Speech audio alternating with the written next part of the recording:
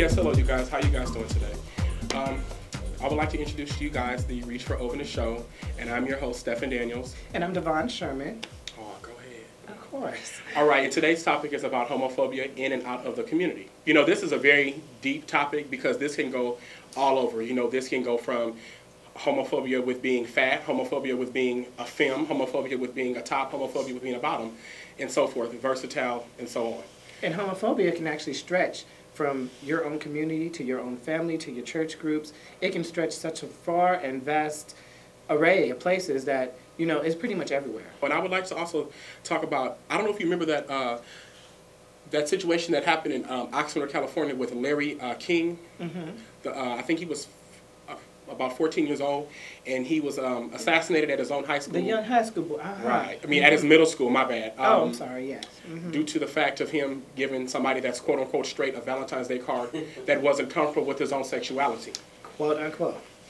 So therefore, he was assassinated, which I think was crazy because of the simple fact that the teacher and other students uh, realized that he was looking at him, you know, constantly, you know, as the day went on. At approximately 8:15, he was gunned down who in the hell do you think you are to go kill anybody? You know, and, and especially over being gay. To me, that's just very I don't know. That's oblivious. I, just crazy. So this was a case of homophobia actually in the school system. Now, kids on these on just their day to day, they have to deal with this every day. Going to school, walking to and from school, and there are teachers that will turn the other way because maybe they feel the same way. Maybe they're homophobic and things like that. Because you have to think about this you being a teacher, you being a staff member, a school administrator, whatever of the school, think about that being your child. Mm-hmm. Think about that being somebody, you know, in your family. You know, because people always want to say, oh, well, you know, that's not me, that's not me. But think about it. When you disrespect that person and you hurt that person, think about it. That could be your son, that could be your dad, that could be anybody. All this behavior is streams from one place how they were brought up, exactly. and what's going on in their household. I, I, can say for me, for example, you know, growing up in the household with, uh, you know, with a predominant uh, black family, you know, my mother telling me that, you know, being gay is not good, you know, being gay is crazy, you know, all they do is work in beauty shops, you know, um, all they do is do nails and makeup. Well, honey, I ain't gonna lie, I love to do makeup, okay? honey, and as you can see, I'm dusted boots right now, okay? I'm, I'm keep it 100% real. All right. So it's just right. so it's just you know it's really sad with parents sometimes because of their lack of a lack of knowledge with with gays, with you know people people that are transgender, lesbian, bisexual, questioning, you know, and then some. So you think it's this strings from a lack of knowledge? I think so. Hmm, okay. And the thing too that a lot of parents don't understand is they think that when you're gay, like that's it, you can't do nothing. Um, as far as homophobia goes in the households, do take the time to actually get to know your child and know where your child is coming from and what he's going through. Which leads us to homophobia in the communities. Homophobia in the community, actually, to me, in my opinion, starts within our own community. You know, because I, I think it's really sad that we're judgmental against each other. But he's absolutely right. Hom- it's funny because homosexuals cannot get along with other homosexuals. The black ones want to stay with the black ones, whites with the whites, Asians with the Asians, and you rarely see interactions with between those groups.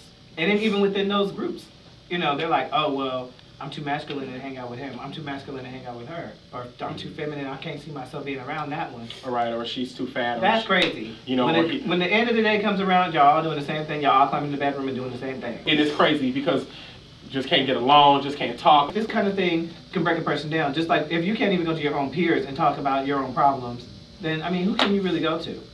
I mean, you already have going into the larger community, you have the straight men that's like, oh, manly, macho. You see a dude walking down the street and they want to fight you because you're supposed to be, they're supposed to be this big old buff man, and to validate their masculinity, they want to fight a, a, a dude that you can see walking down the street, switching, flipping, and wearing yeah. yeah. And this goes back to me being in high school. I, am not even gonna lie. I was homophobic. I was homophobic against my own people. No. I'm, I'm, gonna keep it real because I didn't know because when I'm, I'm, I'm, just being real. When I was in school, I was at home with with my mom, you know, and grandma and all them. So it was kind of like, you know, people that were gay and that were feminine were just looked at as bad. So me, I would talk lots of dirt. I, well, I was I don't even want to say some of the things I would say. All I'm gonna say is it took me a long time to get to the level that I'm at, so I can relate to to some of those people that are that are homophobic because I was one of them at one time. Were you in? Were you actually dating guys or you know engaging in sexual acts with these guys? Actually, you know what's funny because I didn't have my first sexual experience with a dude until I was about 18. I had girlfriends all through high school, all through middle school. Mhm. So, I mean, don't get me wrong. I was always attracted to guys, and I knew I was. So that so that had a lot to do with the reason why I was always, like, Ooh, I don't like no gay people. I don't like no feminine people. I don't, I don't oh hell no, you know. And little little did I know it, I was the biggest queen at the damn school. There, there was a part of me that wanted to join the Gay Straight Alliance and all that.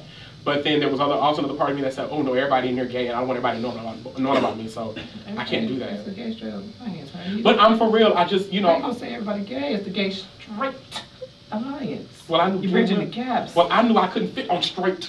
you know, I'm kind of. well, you were right in We was about to talk about our coming out process. Oh, oh, oh, coming out. Ooh, Lord. Coming out. Coming out, have you ever been in? Is the question. Uh-huh.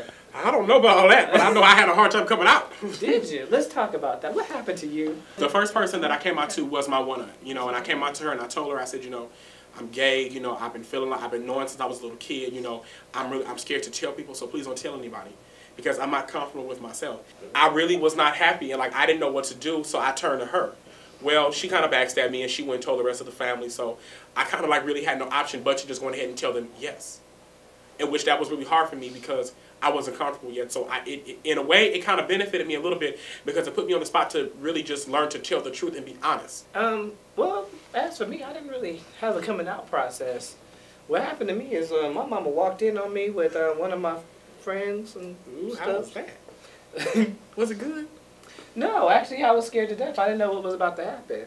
But you know, luckily for me, you know, my mother she brought me to the side and told me, you know, this is your decision, this is your choice.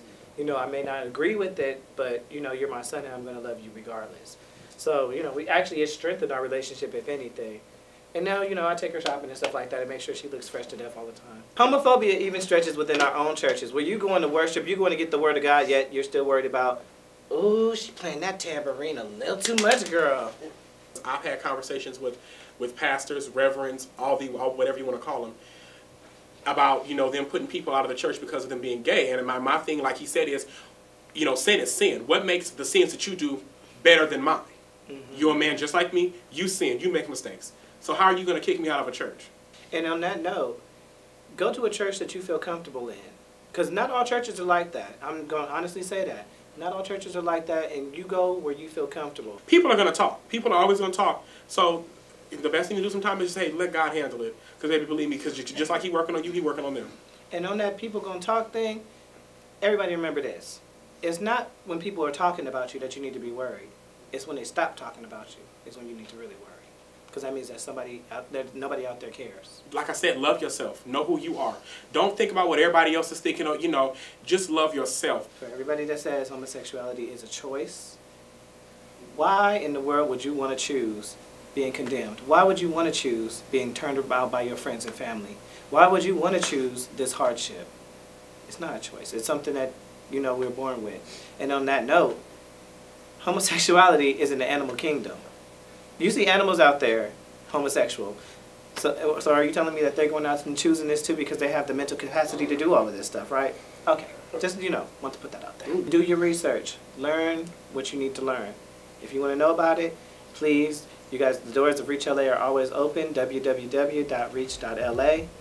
You know, come and talk to anybody in here, and we'll definitely give you more information. Exactly. Because the mind is a terrible thing to waste. And the body is too, so don't be no.